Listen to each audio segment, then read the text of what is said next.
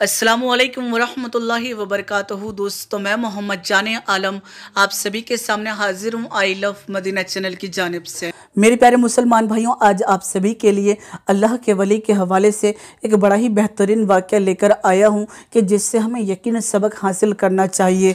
और साथ ही आज के वाक़े के अंदर हमें ये बात मालूम पड़ेगी कि अल्लाह के जो वली होते हैं, वो यकीन आगे के हाल को बता सकते हैं। अल्लाह अपने गिने चुने बंदों को गैब का इलम भी अता करता करता है। मेरे प्यारे मुसलमान भाइयों, आप सभी को बता दूँ, ये वाक्य बिल्कुल ही सच्चा है। एक शहर से होते हुए अल्लाह के वली कहीं गुजर रहे थे कि तभी रास्ते में उन्हें एक घर से बच्चे की रोने की आवाज़ आई। जब वो अल्लाह के वली उस घर के करीब गए तो वहाँ जाकर उस घर के दरवाजे के ऊपर खटखटाया, क्योंकि अल्लाह के वली जो होते हैं, वो बहुत दूर की देख लिया करते हैं। उन्हें ये बात मालूम हो जाया करती है कि आने वाले वक्त में किसके क्या हालात होने वाले हैं, क्योंकि अल्लाह उनको गैब का इलम अता करता है। मेरे प्यारे मुसलमान भाइयों, आप सभी को बता दूँ जो अल्लाह के वली थे, वो उस दरवाजे के पास गए और फिर घर का जो दरवाज़ा था, उसे खटखटाया। अंदर से एक मुलाजिम आया और उसने आकर दरवाज़ा खोला। जब उसने आकर दरवाज़ा खोला तो मुलाजिम ने यह बात बताई कि आज हमारे मालकिन को बेटी हुई है। अल्लाह ने हमारी मालकिन को एक बेटी अता की है। तो इस बात के ऊपर वो जो अल्लाह के वली थे, वो ये बात कहने लगे कि जिस लड़की की तुम बात कर रहे हो, वो आगे चलकर बे खूबसूरत होगी और इतनी ज़्यादा खूबसूरत खूबसूरत होगी कि शहर भर के अंदर उसकी कोई मिसाल ना ला पाएगा और यही खूबसूरती उसे हराम काम के ऊपर मुलविस करेगी। यानी ये जो लड़की है, ये सारे हराम काम करना शुरू कर देगी, ताकि गैर महरमों के साथ सौ मरतबा ये जिना भी करेगी और इसका निकाह एक मुलाजिम के साथ होगा। साथ ही साथ जब इस लड़की की मौत वाक़ होगी तो इसकी मौत का सबब जो होगा, वो एक मकड़ी बनेगा। तो ये बात सुनने के बाद वो जो मुलाजिम था, वो बड़ा हैरान हुआ, लेकिन वो अल्लाह के वलियों के ऊपर यकीन रखा करता था, उसे ये बात मालूम थी कि अल्लाह के जो वली बात बताया करते हैं, वो सच बात बताया करते हैं। तो इस बात को लेकर वो बहुत ही ज़्यादा परेशान होने लगा और उसके दिल के अंदर ये ख्याल आने लगा कि मालकिन की बहुत ही ज़्यादा बेइज्जती होने वाली है आगे चलकर, क्योंकि अल्लाह के वली ने जो बात बताई है, वो यकीन सच हो के रहेगी, क्योंकि अल्लाह जो है अपने महबूब बंदों को गैब का इल्म अता करता है। तो इस बात के ऊपर वह घर के अंदर दाखिल होता है और मौके की ताक में बैठ जाता है कि जब मालकिन घर से बाहर जाएगी तो ऐसे वक्त में वो मालकिन की बेटी को ख़त्म कर देगा, यानी मार देगा। तो वो जो मुलाजिम था, वो वक्त का इंतज़ार करने लगा। जब मालकिन कमरे से बाहर गई तो उसने मौका पाते ही एक चाकू से उस लड़की का जो पेट था, उसे चीड़ दिया और उस लड़की को मुर्दा समझ के वहाँ से भाग गया।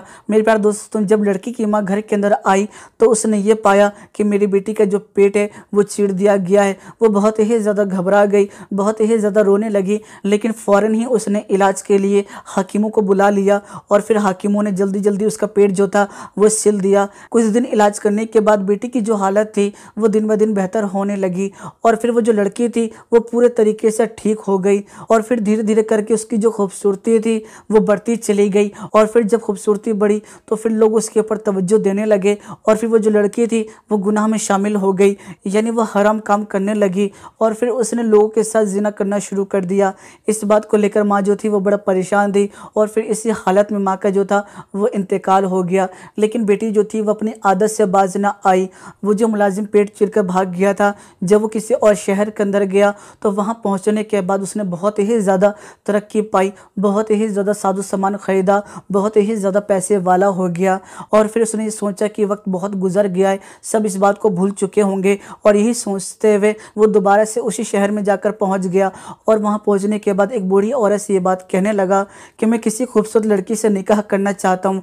अगर आपकी नज़र में कोई खूबसूरत लड़की है तो मुझे बताइए। तो इस बात को सुनने के बाद वो जो बूढ़ी औरत थी, वो ये बात कहने लगी कि इस पूरे शहर के अंदर एक बड़ी खूबसूरत लड़की है। तुम भी उसको देखोगे तो तुम भी उसके दीवाने हो जाओगे। तुम चाहो तो उससे जाकर निकाह कर सकते हो। तो ये चीज़ सुनने के बाद वो जो मुलाजिम था, वो उस लड़की के घर के करीब पहुँचा। वहाँ पहुँचने के बाद उसने ये पाया कि ये तो बड़ी हसीन जमील है, बहुत ही ज़्यादा खूबसूरत है। मेरी खुशनसीबी होगी कि मेरा इसके साथ निकाह हो जाए। जब उस मुलाजिम ने उस लड़की से जाकर ये बात कही कि मैं तुमसे शादी करना चाहता हूँ। मेरे पास हर एक चीज़ मौजूद है। सारे साधु सामान मौजूद हैं। मैं पैसे वाला हूँ। मैं मालदार हूँ। जब ये बात सुनी उस लड़की ने तो फ़ौर ही शादी के लिए हाँ बोल दिया। जब शादी के लिए हाँ बोल दिया, जब शादी हो गई, जब शादी की पहली रात थी तो उस लड़की ने यह बात कही कि आप कहाँ से आए हैं? आप क्या क्या काम करते हैं? और फिर आपका घर कहाँ है? तो इस बात को लेकर वो जो शख्स था, वो ये बात बताने लगा कि आज से बीस बाईस साल पहले मैं इसी गाँव के अंदर मुलाजिम था। मैं बहुत ही ज़्यादा गरीब था। मैं अपने मालकिन की खिदमत किया करता था, लेकिन एक दिन अल्लाह के वली घर पे तशरीफ़ लेकर आए और उन्होंने मुझे ये बात बताई कि घर के अंदर जो लड़की पैदा हुई है, वो आगे चल के बहुत ही ज़्यादा हराम काम करेगी, सारे बुरे काम करेगी और फिर उसकी जो शादी होगी, वो एक मुलाजिम से होगी और साथ ही साथ उस लड़की की मौत का जो मंजर पेश आएगा, वो मकड़ी के सबब पेश आएगा। जब मैंने ये सारी बातें सुनी, मैंने ये सोचा कि मेरी मालकिन की आगे चल के बेइज्जती होगी, इसी चीज़ को सोचते हुए मैंने फ़ौरन ही जाकर मालकिन की जो बेटी थी, उसका पेट चिड़ दिया। पेट चिड़ने के बाद मैं फ़ौरन ही वहाँ से निकल गया। जब ये बात लड़की ने सुनी तो वो ये बात कहने लगी कि जिस लड़की का तुमने पेट चिरा था, वो लड़के कोई और नहीं, वो लड़की मैं ही हूँ। और ये बात कहते हुए उस लड़की ने अपने पेट के ऊपर वो चिरा के निशान दिखाया। ये चीज़ देखने के बाद वो जो मुलाजिम था, वो बड़ा हैरान हुआ और फ़ौरन ही वो जो मुलाजिम था, वो ये बात कहने लगा कि अल्लाह के वली की एक बात सच हो गई। अल्लाह के वली ने यह बात कही थी कि तुम बहुत ही ज़्यादा खूबसूरत होगी और यकीन तुम बहुत ही ज़्यादा खूबसूरत हो। और फिर अल्लाह के वली ने यह बात भी कही थी कि तुम सारे हराम काम करोगी और साथ ही साथ सौ मर्दों के साथ तुम जिनाखोरी करोगी। तो तुमने ज़रूर सौ मर्दों के साथ जिना किया होगा। तो इस बात के ऊपर वो जो लड़की थी वो ये बात कहने लगी, ये बात सच है कि मैंने कई लोगों के साथ गुनाह किया है, लेकिन मुझे गिनती याद नहीं कि मैंने कितनों के साथ गुनाह किया है। फिर वो जो मुलाजिम था वो ये बात कहने लगा कि अल्लाह के वली ने यह बात कही थी कि तुम्हारी जो शादी है वो एक मुलाजिम के साथ होगी और मैं एक मुलाजिम ही था, मेरे साथ ही तुम्हारा निकाह हुआ। और फिर अल्लाह के वली ने यह बात भी कही थी कि जब तुम्हारी मौत का वाक़ पेश आएगा तो मकड़ी तुम्हारी मौत का सबब बनेगी और यह बात भी बिल्कुल सच होकर रहेगी। तकदीर में जो लिख गया, उसे कोई बदल नहीं सकता है। तो ये सारी बात बोलने के बाद वो जो मुलाजिम था, वो ये बात कहने लगा, बहरहाल जो तुमने किया, वो तुम्हारा पिछला वक्त था, लेकिन मैं तुमसे बे इंतहा मोहब्बत करता हूँ। इसीलिए वो सारी जो तुमने गलतियाँ की है, उसको मैं भूलने को तैयार हूँ और मैं तुम्हारे लिए एक बेहतर इंतज़ाम करूँगा कि जहाँ पर कोई भी कीड़ा मकोड़ा ना आ सके। यानी मैं तुम्हारे लिए एक घर ऐसा तैयार करूँगा, एक ऐसा महल तैयार करवाऊँगा कि जिस घर के अंदर कहीं भी मकड़ी का नामो निशान नहीं होगा। तो ये चीज़ सोचते हुए फ़ौर ही उसने एक घर की तामीर करवा दी, एक महल की तामीर करवा दी कि जिसके अंदर वो खुशी खुशी रहने लगे।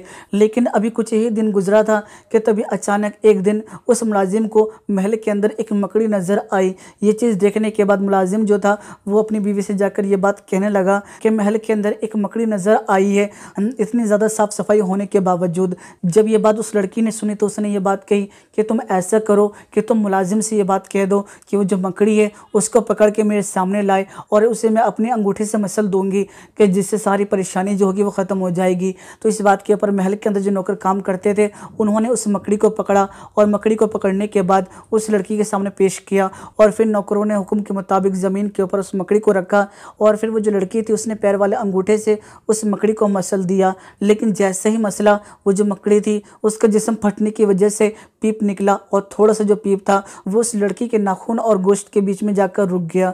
धीरे धीरे करके वो जो पीप था, उसने जहर की शक्ल इख्तियार कर ली। लड़की ये सोच रही थी कि मैंने तो मकड़ी को मार दिया, लेकिन मकड़ी ही जो थी, वो इसकी खात्मे का सबब बनने वाला था। उसका जो पैर था, वो धीरे धीरे करके ख़राब होने लगा और दर्द और तकलीफ़ इतनी ज़्यादा बढ़ गई कि आखिरकार एक दिन उसकी मौत वाक़ हो गई। मेरे प्यार दोस्तों ये जो वाक़ है, ये बिल्कुल सच्चा वाक़ है।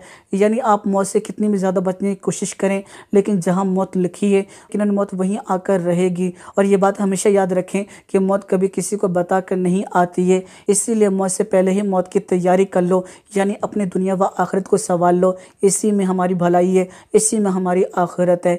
तो मेरे प्यारे मुसलमान भाइयों, मुझे उम्मीद है कि आपको यह वाक़ पसंद आया होगा।